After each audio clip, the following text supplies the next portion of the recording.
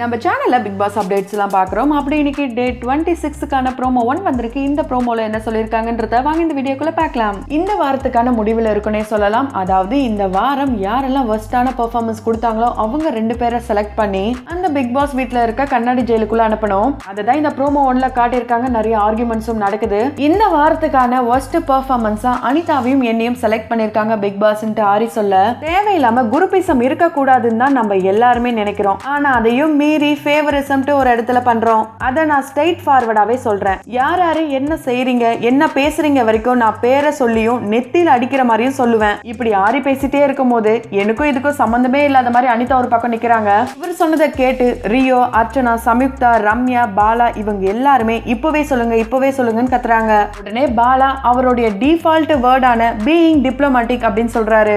இதனால டென்ஷனான Archana first of all டிப்ளமேட்டிக்கை ஒரு ராங் வேர்டா யூஸ் பண்றத நிறுத்தலாம் அப்படின்ட்டு கோவமா சொல்றாங்க. பாலாவும் நம்மள தான் இவங்க சொல்றாங்களான்ற மாதிரி ஷாக் ஆகி பாக்குறாரு. சைடுல ரியோவும் ஆமான்னு சொல்லி இந்த ப்ரோமோவை இப்படியே முடிக்கிறாங்க.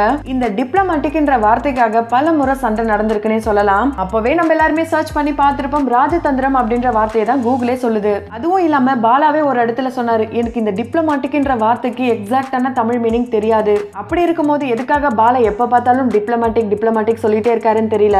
இந்த ஒரு வார்த்தையால திரும்பவும் அர்ச்சனா அண்ட் பாலாக்கு நடுவுல கிளாஷ் ஆக போகுதுன்றது மட்டும் தெரியுது.